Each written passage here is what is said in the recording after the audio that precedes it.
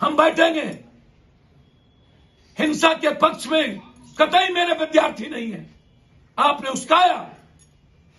हम सरकारी संपत्ति को नष्ट नहीं करना चाहते, लेकिन अपने राइट के लिए लड़ना और मरना चाहते हम लड़ेंगे भी, मरेंगे भी। डराए ना यह सरकार।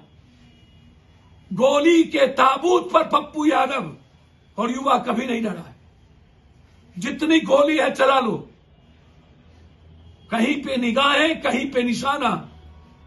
आप बच्चे और शिक्षक पर से मुकदमा वापस लें। आप धोखेबाज हैं। आठ साल में धोखा दिया, करोड़ करोड़ करोड़। आपकी अब धोखी नहीं चलेगी।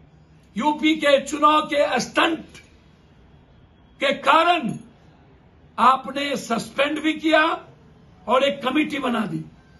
पंद्रह दिनों के अंदर कमेटी की रिपोर्ट एक महीने के अंदर भारत के बच्चे रिज़ल्ट चाहते हैं। आप इसकी घोषणा किसी भी कीमत, वैकेंसी में करिए। और केस वापस लीजिए। ग्रुप डी के संशोधन को मत करिए। कंप्लीट राय लेकर के ग्रुप डी के एग्जामिनेशन को बढ़ाइए।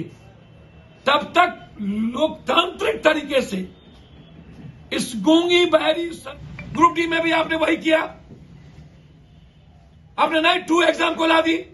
क्या करेंगे मिडिल क्लास के बच्चे जीनियर लड़के?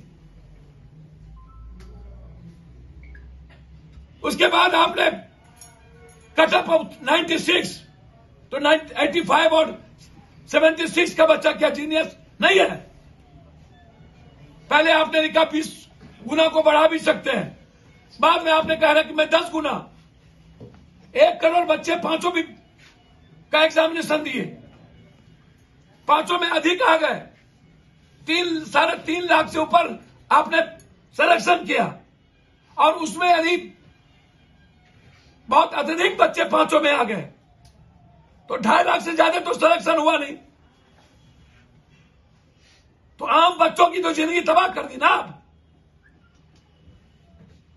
और उसके बाद पाँच बजे तक मेरे बच्चे प्लेटफॉर्म पर एक चौंक तक नहीं बोला। रात में आपने गोली चला दिया आप आँसू गैस चला दिया। दूसरे दिन भी आप ढुक ढुक के मारे। हमारे बच्चे कौन सा हिंसा कर रहे थे? हमारे बच्चे हिंसा के पक्ष में नहीं है। हिंसा तो ये बलात्कारी, भ्रष्टाचारी करता है।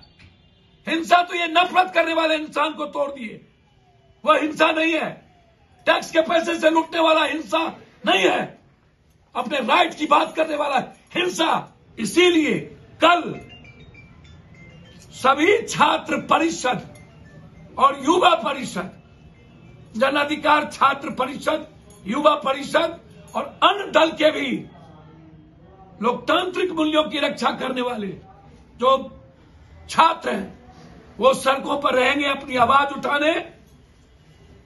आप जब तक डराइएगा आपका विरोध जारी रहेगा।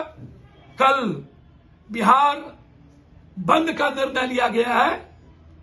छात्रों के अधिकार और उसकी आज़ादी के